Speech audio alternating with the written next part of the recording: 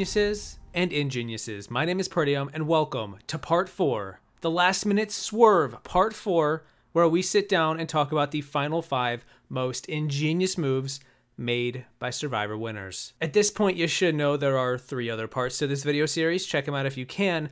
This video isn't a ranking, but more just a long list of cool tricks that maybe deserve a little bit of recognition. So, no delay, here we go. Five more ingenious moves. First, so guys, I got to tell you, done five of these now, and I still can't put any rhyme or reason to what it takes to do well in this game. All I know is that starting from, from my first impressions, I never ever would have predicted how this thing would have turned out. Probably the most ingenious winner to date.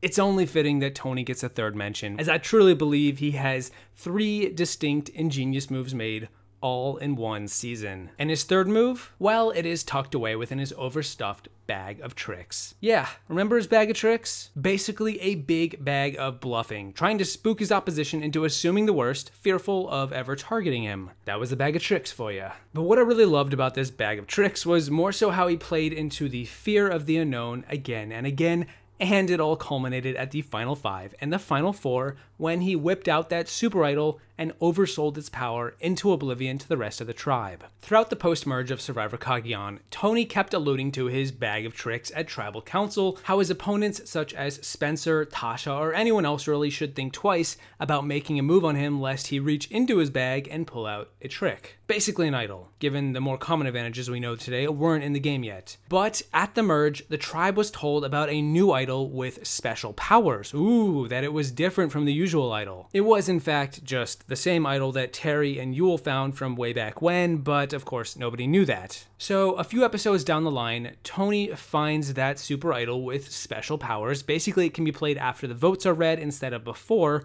and he is on top of the world. He already had a regular idol in his pocket, so to have two idols?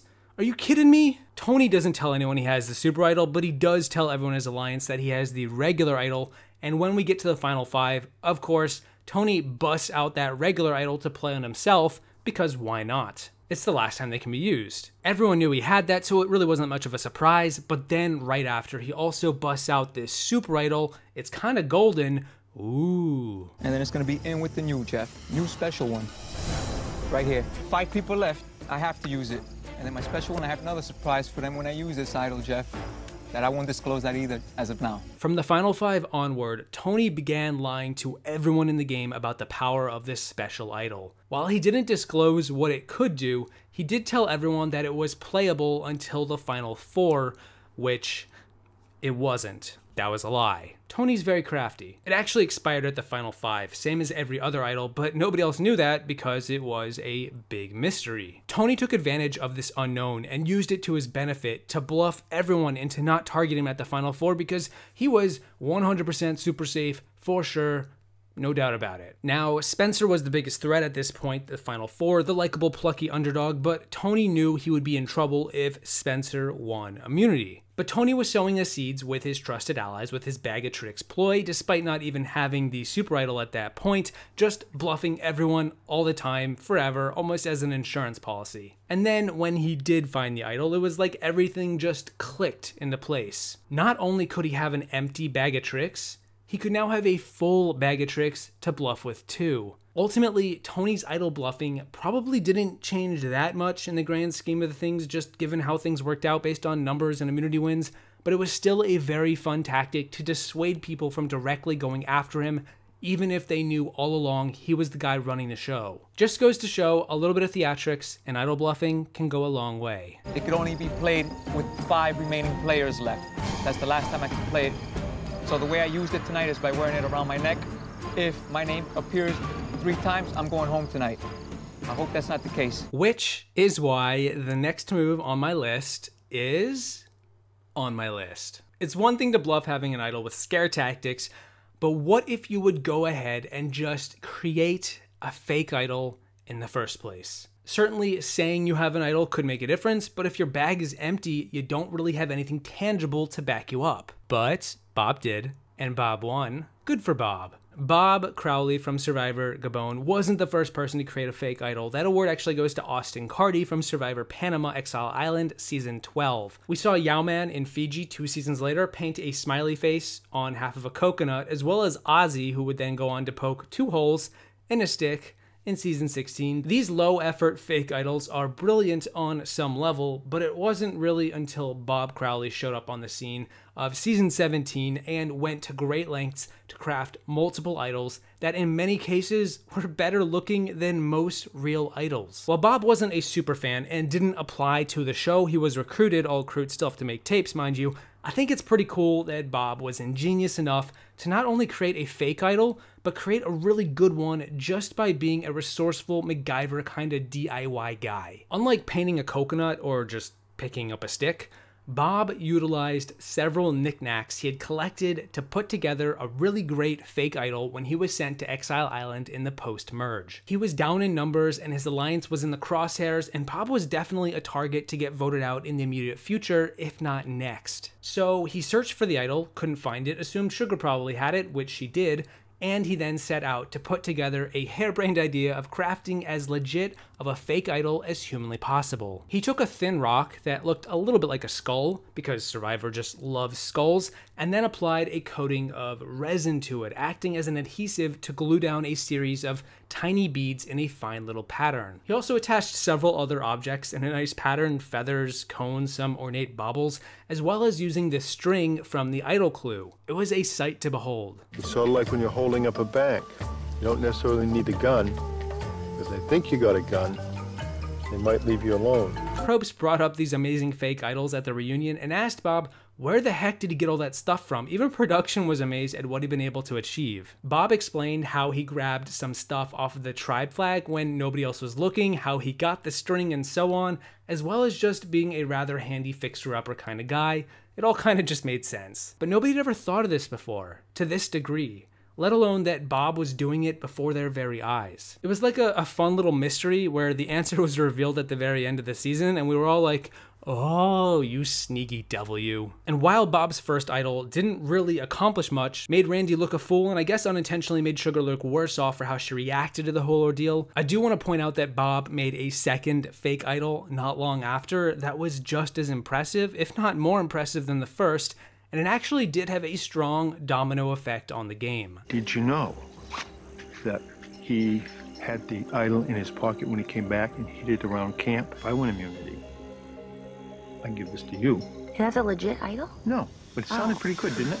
Yeah, it did sound good. Again, not exactly in Bob's hands here, but when he showed his second ornate fake idol to Kenny and Crystal at the final seven, they decided to split their votes for Matty and Corinne, a totally unnecessary move, which then had both Matty and Sugar peeved at Kenny and Crystal in the next episode. With Bob going on an immunity run, it meant the bad blood caused by the split vote, thanks to Bob's fake idol, set the stage for Crystal and Kenny to shoot to the top of the pecking order. Inadvertently, Bob did help chisel a crack in that flimsy alliance, and it's partially thanks to a little bit of ingenuity in making the best fake idols we have ever seen. This is, uh, these are the pieces. Uh, by the way, where'd you get this rope? We don't give you guys anything. Well, I, I take stuff.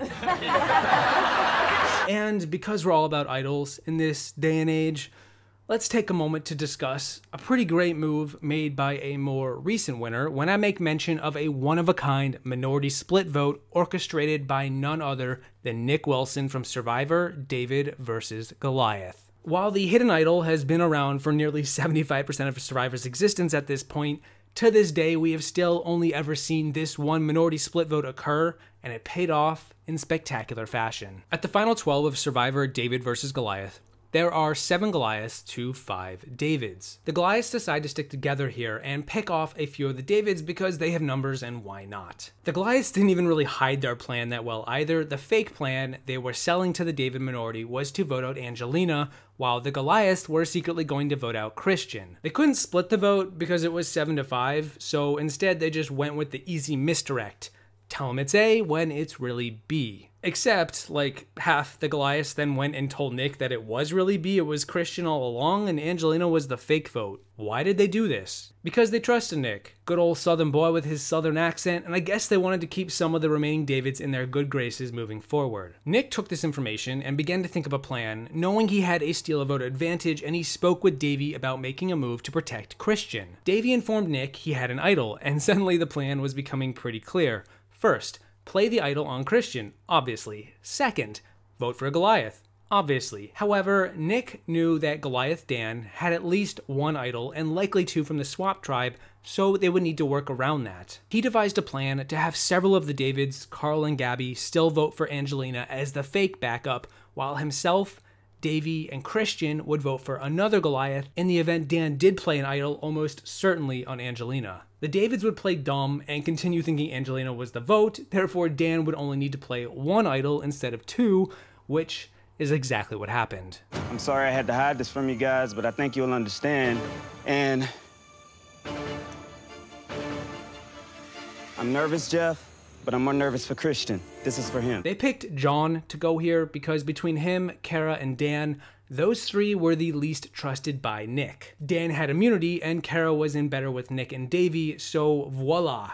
John became the backup. The concept of having so much information that you can plan a split vote from the bottom is pretty amazing. It's one of my favorite moves in all of Survivor. I'm glad I get to sit down and talk about it in that 9 of the 12 players this round were blindsided by the move. Splitting the vote to counter an idol play isn't anything revolutionary, but doing it from the bottom, let alone leaving near half of your alliance out of the plan, is unheard of. And that is why I give it props, and I can only hope we'll maybe one day see this happen again. This is the first time in Survivor history that we split the minority vote.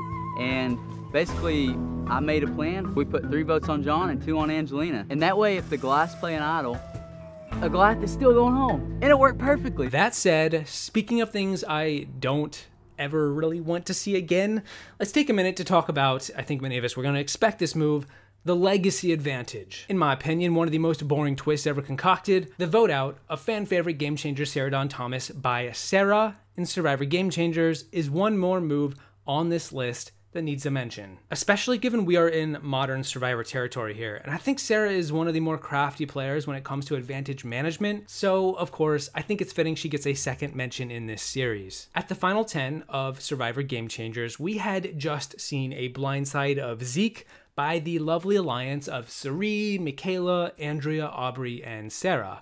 Girl power. Brad, Troyzan, Ty, and Sierra were on the bottom now at the final nine, and they were kind of clueless, like chickens with their heads cut off, as for what to do next. So Sierra, with her legacy advantage, decided she needed to make a stronger inroad and approached Sarah, telling her about this legacy advantage and that if she were to ever get voted out, she would will it to Sarah. Now, this was an attempt by Sierra to win Sarah over, to keep Sierra's head off the chopping block to survive long enough to hopefully squeeze between the cracks of this all devouring female alliance that just knocked out Zeke. And Sarah actually was tickled by Sierra's approach and was interested in keeping her in the game at this point over the likes of Brad Culpepper. But then, of course, Brad went and won immunity that episode, so now what? Well, it's important to note that this was the loved ones episode, and Sarah got to spend a bit of time with her hubby on the beach in Fiji. They talked about the game and discussed whether Sarah should keep Sierra or vote her out to secure this advantage. Mind you, Sarah already had the steal vote power too, but if there's anything she's learned from Tony, having a burgeoning bag of tricks in Stowe is never a bad idea. She and her hubby agreed that it was more advantageous, no pun intended, to take out Sierra here to get that legacy advantage, even if it meant she would lose a potential ally for the immediate future. I mean, Sarah was already sitting pretty in the middle, so why not? I mean, it's us, right? I love you. You're my, like, it girl out here. Like, on you. a real level. Right. I don't want to vote her out.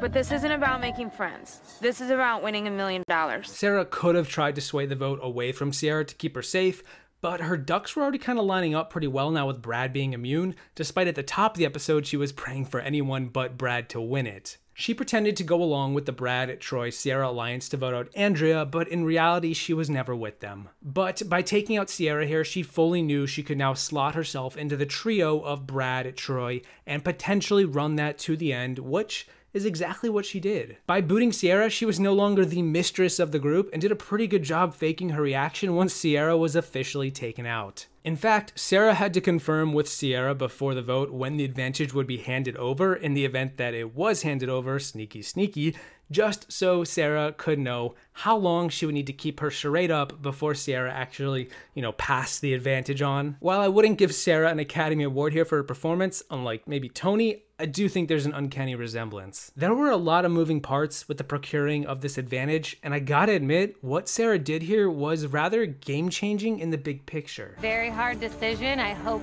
you didn't vote for me tonight, but I will be giving it to Sarah.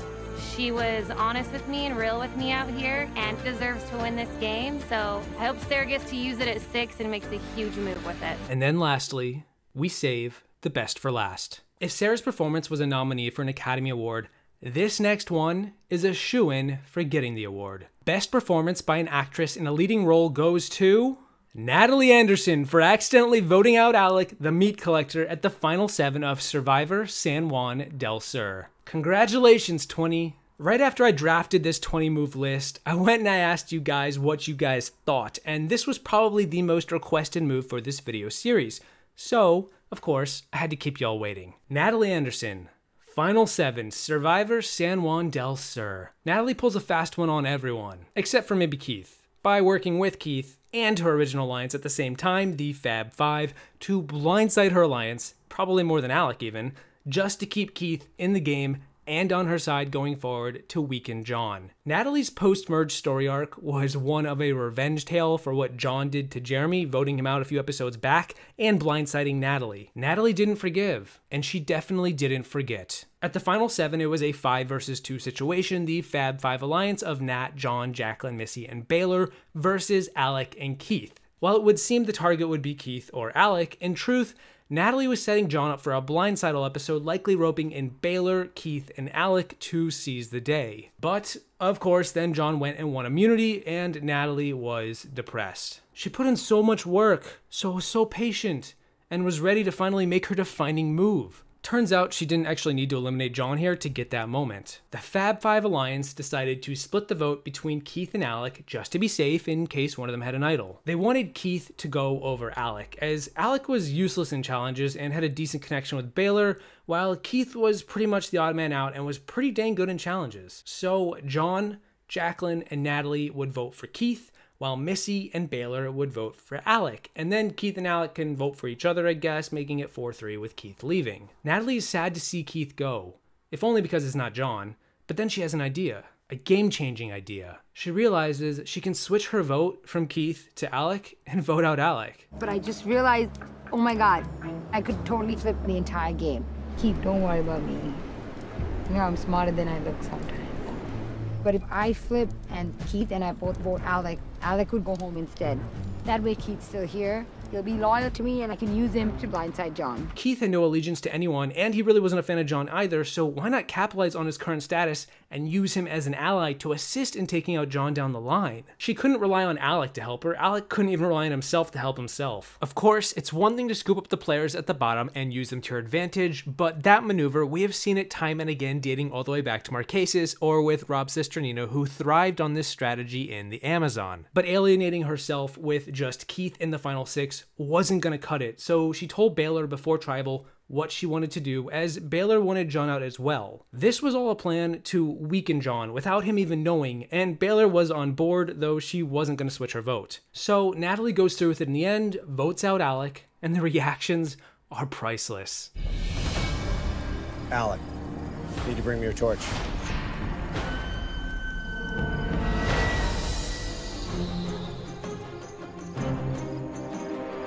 Ah, it's so good. I love that this whole tribal is very much set in stone. It's it's either Keith or Alec, and supposedly everyone knows it's Keith. Of course, the one person who actually knows is Natalie, so she puts on the performance of a lifetime by actually acting confident the moment that Alec gets voted out. Natalie has to look fairly composed because that was the ruse. She was supposed to make the wrong move, vote out Alec, but believe it was the right move when in fact she knew it was the wrong move but it was the right move for her. Congrats. you've just been twinceptioned. So Natalie gets back to camp in the next episode, and everyone is like, WTF? Natalie is like, what do you mean WTF? I was supposed to vote for Alec. Jacqueline even begins to wonder if Alec somehow voted for himself. In the end, Nat sells her story and everyone believes her. Baylor's, of course, laughing. She made a mistake. Whoopsie. Oh well. Hopefully, we'll get the right target next time. I mean, I think I sold it to them properly, but it's gonna be scary. But John is on my hit list. He's been on my hit list since he sent Jeremy home, so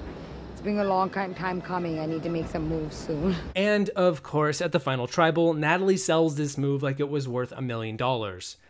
Because it was. The ingenuity of putting on an act to lay the groundwork to take out a useless soldier to gain a number, all while blindsiding your own alliance and having them believe you that it was an honest mistake, only to wear it proudly. In the very end, ingenuity at its finest. The one move I made that ended up changing the course of the game for me after was voting you off.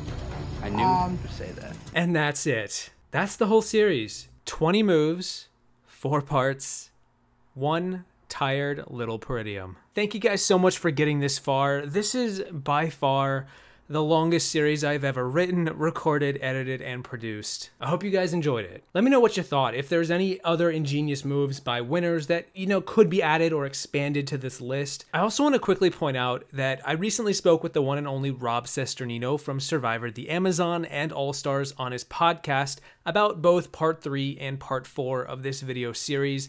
So, if you're interested in hearing a little more of me talking with him about 10 of these moves, sort of like watching a less formal video of mine with an actual other human being telling me how wrong I am, I will be putting a link in the description down below. Either way, my name is Pretty. I'm saying thank you so much for watching. I do hope you enjoyed this really long four part video series. Don't forget to play dumb in the comment section on your way out, and I will see you in the next one once I go and find a nice, comfortable, well lit production studio with lots of surveillance somewhere in Hollywood to hibernate for the summer.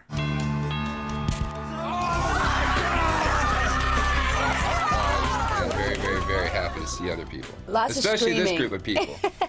Because they know what we've been through. That's true. We can relate. And Will, you're making me sick because you don't know any of these people. And no, I but I just like them more than I like all you guys, so it's just nice. They were so happy to see us. I've never seen any of you guys eat with silverware. We are excited, totally excited, and so are they. I'm really glad that you guys are here. It's been Thanks a wonderful evening. Us. Thank you so much. Oh, thank